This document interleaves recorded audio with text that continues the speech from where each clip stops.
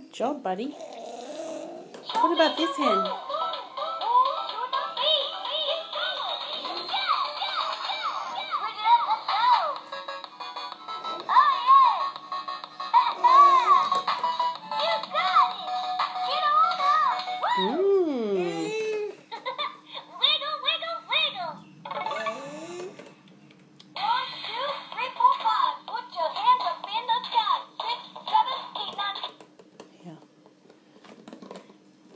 What if I take Bebo over here?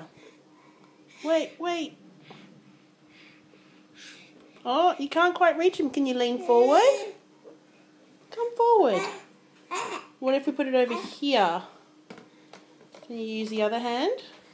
Oh, no. He's like, I've got my hand in my mouth, Mom.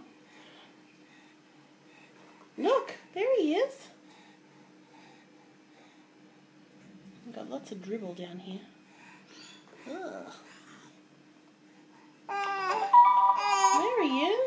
There's